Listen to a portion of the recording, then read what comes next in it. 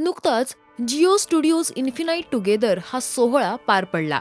वेगवेगळ्या भाषांमध्ये जिओ स्टुडिओची निर्मिती असलेल्या तब्बल शंभर प्रोजेक्टची घोषणा यावेळी करण्यात आली.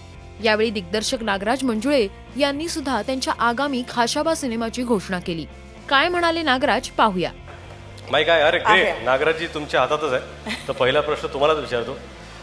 आता मराठीत विचारू का हिंदीत विचारू? कशात? मराठीत विचारतो ना. तर अ, विचार दो तो। मुझे बताइए जियो स्टूडियोज के साथ आपका एसोसिएशन कैसा है? और आप एक नई फ़िल्म बना रहे हो खाशाबा तो उसके बारे में भी कुछ बताइए। अं, मला हिंदीतच बोलू ना। अरे काय आपलंच आहे। अं, नाही आनंद वाटतोय की अं, म्हणजे पहिल्यांदा जिओ बरोबर काम करतोय. आणि एक खूप खूप दिवसांपासून ही फ़िल्म डोक्यात होती. आणि ती वेगवेगळ्या कारणानं पुढं जात होती. पण ज्योतिजी आणि निखिल सर दोघं असल्यामुळं एक जरा मोठी ज्याला म्हणता येईल अशी फिल्म शक्य झाली. आहे आम्ही सहा महिने झाले त्याची चर्चा करत होतो. फायनली आम्ही करणार आहे. आणि ज्योतिजी जितक्या उत्साहित असतात जितक्या गंभीरपणे खंबीरपणे सपोर्ट करतात मला वाटतं हे काम भारी होणार आहे.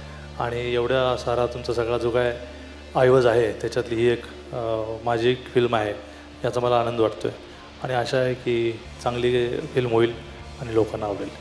आणि थँक्यू मला आज इथं बोलवल्याबद्दल. थँक्यू तुम्हाला खशाबा पुरी इंडिया देखेगी. काही महिन्यांपूर्वी नागराज यांनी कोल्हापुरात एका कार्यक्रमानिमित्त हजेरी लावली होती. त्यावेळी त्यांनी ऑलिम्पिकमध्ये भारताला पहिलं वैयक्तिक कांस्य पदक मिळवून देणारे कुस्तीपटू खाशाबा जाधव यांच्या आयुष्यावर सिनेमा बनवणार असल्याची हिंट दिली होती. त्यावेळी कोल्हापुरातच सिनेमा शूट करण्याची इच्छाही त्यांनी बोलून दाखवली. नागराज यांच्या या घोषणेनंतर आता या सिनेमात कोण कलाकार असणार याची उत्सुकता वाढलीय. जिओ स्टुडिओज या सिनेमाची निर्मिती करतोय. झुंड नंतर खेळावर आधारित नागराज यांचा हा दुसरा सिनेमा आहे. तर पहिल्यांदाच ते चरित्रपटही बनवत आहेत नागराज यांचा हा आगामी सिनेमा पाहायला तुम्ही उत्सुक आहात का हे कमेंट्समध्ये नक्की सांगा. मराठी सिनेसृष्टीतील अपडेट बातम्या आणि गॉसिपसाठी तुम्ही सबस्क्राईब करा राजश्री मराठी.